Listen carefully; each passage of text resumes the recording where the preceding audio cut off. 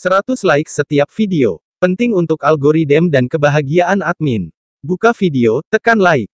Lepas tu nak tengok video lain, suka hati Anda.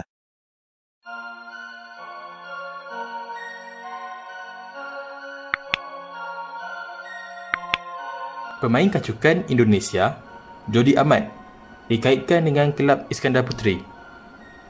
Jody Ahmad banyak luang karier di Sepanyol, England dan Belgium. Dilahirkan di Sepanyol, Jody Ahmad ada nenek berasal dari Indonesia.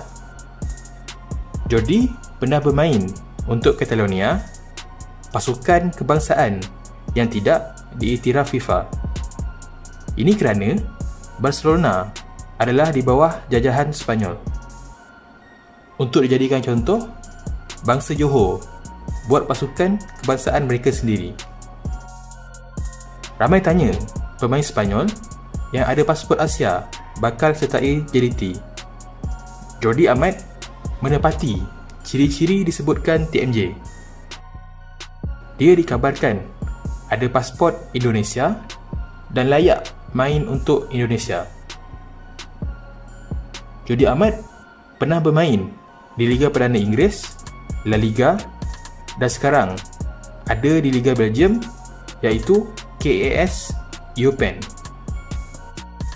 Jody Ahmad masih berumur 29 tahun dan dia bermain posisi centre back. Jika betul Jody Ahmad akan datang ke Johor, apakah nasib pemain pertahanan tempatan?